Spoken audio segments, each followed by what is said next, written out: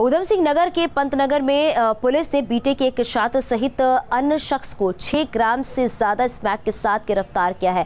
आरोपी हल्द्वानी के रहने वाले हैं। आरोपी किच्छा से स्मैक लेकर हल्द्वानी जा रहे थे। पुलिस ने दोनों के खिलाफ एनडीपीएस एक्ट के तहत मुकदमा दर्ज कर जेल भेज दिया है। पुलिस के मुताबिक चेकिंग के दौरान दोनों युवक मोटरसाइकिल से आते हुए दिखाई दिए थे।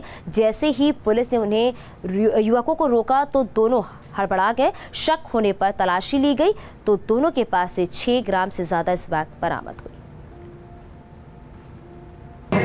टीम द्वारा दो व्यक्ति है, एक का नाम है आशीष आर्या और एक ऋषभ रस्तोगी। ये दो व्यक्ति इच्छा दरों से किसी व्यक्ति से लाके हल्द्वानी में स्मैक का सप्लाई कर रहे थे, जिनके पास से ट्रेनिंग के दौरान 5.6.55 ग्राम अवैध स्मैक बरामद हुई जिस संबंध में थाना पंतनगर में एक मुकदमा पंजीकृत किया